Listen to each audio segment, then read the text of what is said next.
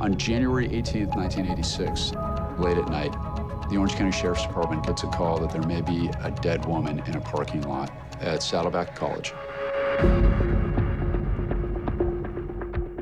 I'm Kim Markison. I worked for the Orange County Sheriff's Department for 30 years.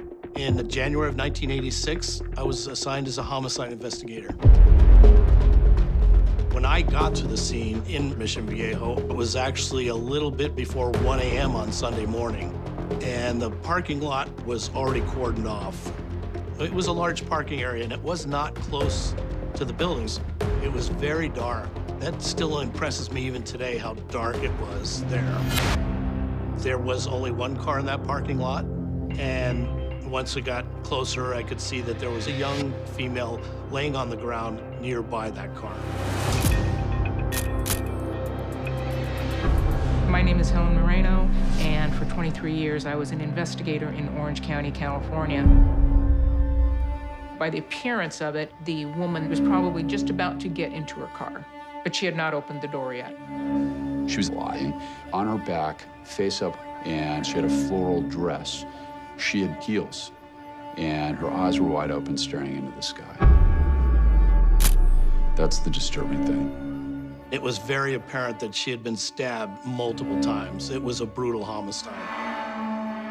Just totally unexpected, not something that you would expect to happen at Saddleback College in South Orange County. Not only was she stabbed from the back, but she was stabbed from the front. There was a tremendous amount of blood. The number of stab wounds were way, way, way in the overkill category. Whoever did this, there was a lot of rage and anger there for sure. Her skirt had been pulled up, exposing her undergarments, but it didn't appear that she had been sexually assaulted.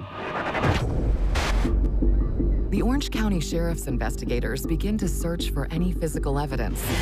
But unfortunately, that attempt is a wash.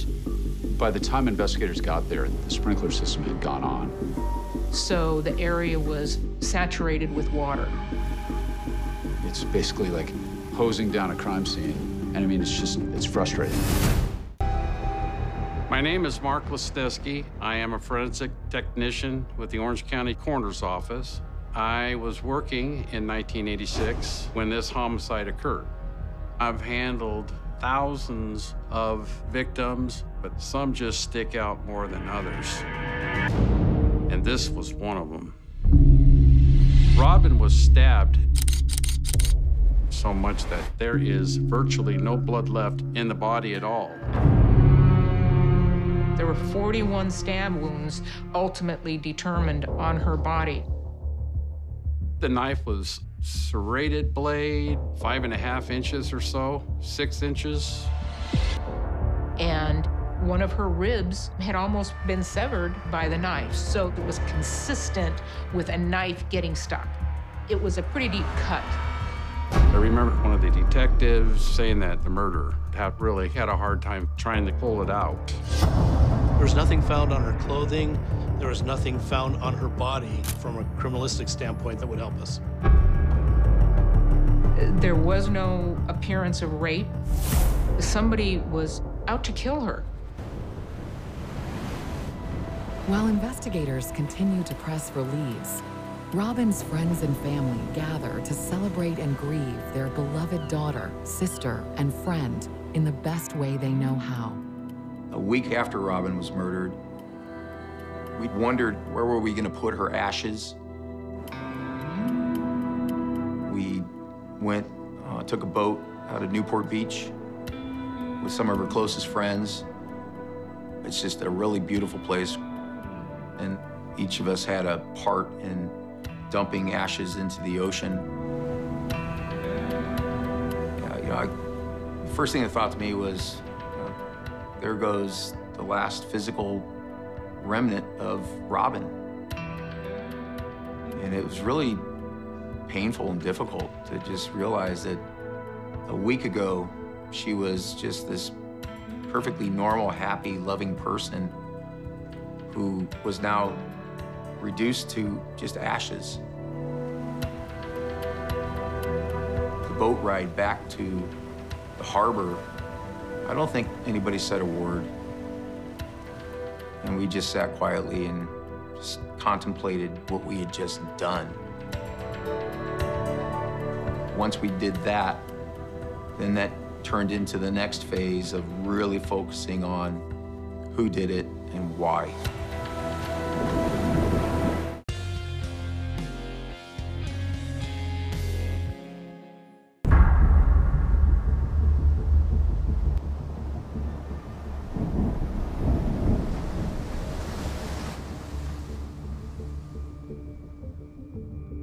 Had lunch with Janelle, Robbin's mom. Gosh, it must have been 1986. I think it was about two weeks before the murder. She told me Robbin was brushing her hair, and her mom said, "What's what's going on?" And she said, "I'm, I'm scared. I feel like something bad's going to happen to me." And Janelle was like, What do you mean? And she said, I'm scared. I feel like something's going to happen.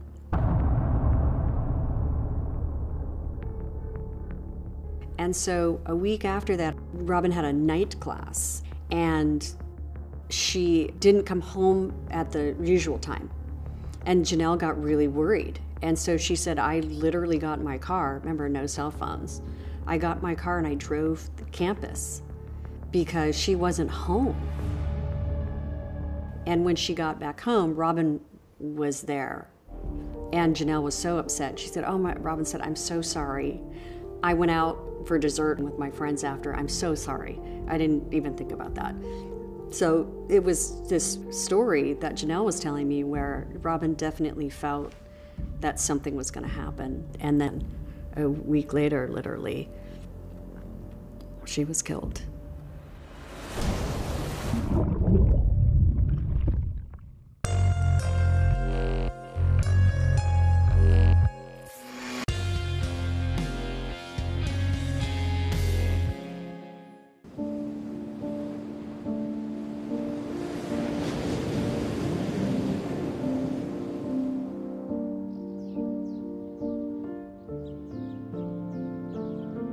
Robbin's memorial service, it just confirmed with me that this is your new reality.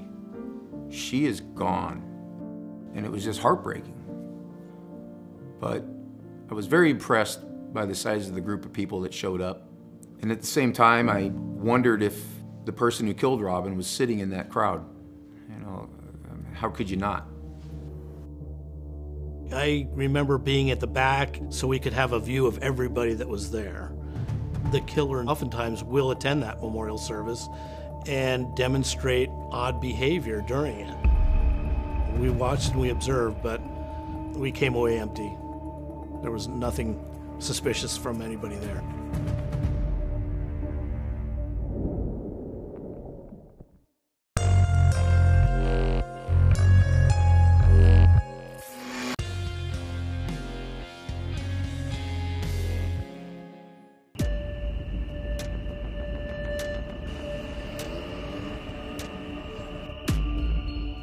After Robbin's murder. I'm very fearful at this point. This person hasn't been caught, and I had phone calls coming into my house at night at like one in the morning all the time for a while. I'd pick up and they would say my name.